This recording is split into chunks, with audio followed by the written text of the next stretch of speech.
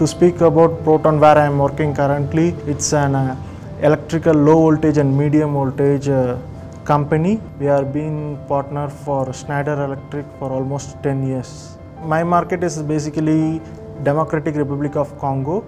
Still, since the almost 90 percentage of the landscape is not connected with the grid, the demand for electricity is more. They don't have access to electricity, so there is a very big potential of uh, access to energy.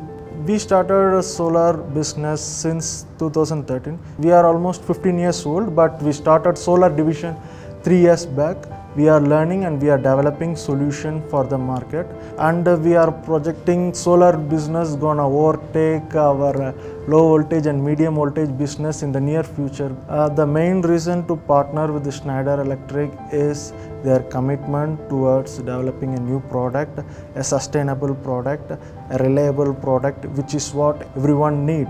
With schneider is one such company we can trust so we are partnering with schneider